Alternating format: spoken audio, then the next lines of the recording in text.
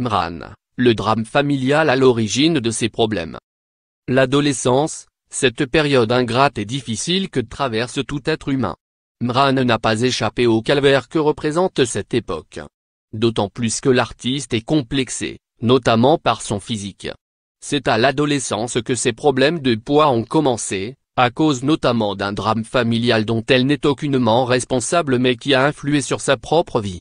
Elle confiait à Gala en 2014 Ma grand-mère a perdu deux enfants après ma mère, dont une fille qui s'appelait Claudine, révèle Moran. Quand je suis né, comme je lui ressemblais, on m'a appelé comme elle et on a fait de moi, en quelque sorte, sa réincarnation. La pression est telle que la grand-mère de l'artiste lui a formellement interdit de grossir alors qu'elle est adolescente. C'est sans doute là qu'a été plantée la graine de mon rapport conflictuel avec le poids analysé alors Moran.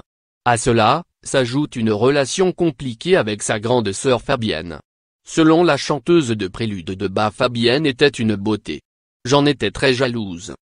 Le cadre familial n'est pas propice à l'épanouissement et qui c'est cela qui a déclenché les problèmes de poids. Elle concède j'étais une ado perturbée, très solitaire, au physique un grain mal dans sa peau, pas à sa place, Mran trouvera finalement le moyen de trouver la lumière grâce à la musique. On dit que la musique a des vertus thérapeutiques, dans le cas de Mran, c'est le cas. Chanter et composer m'a permis de trouver ma place avec sa voix chaude et ample, son passage dans Starmania et ses nombreux albums, la chanteuse belge est devenue l'une des plus grandes artistes belges. Sa mort soudaine, ce lundi 7 mai, a provoqué une grande émotion dans le monde de la musique et nombreux sont les artistes à présenter hommage et condoléances en crédit photo, best image.